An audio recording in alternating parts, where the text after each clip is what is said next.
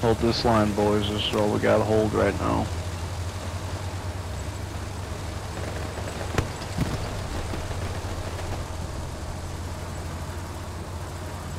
In the bunker, in the bunker. If we start getting badly captured, I'm gonna drop a reinforce on the objective and we're gonna hold this shit down. So just encircle yourselves and fucking pray to God.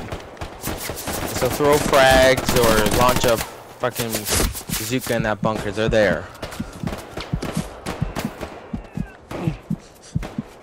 He's hot. Garrison's hot. Garrison's hot.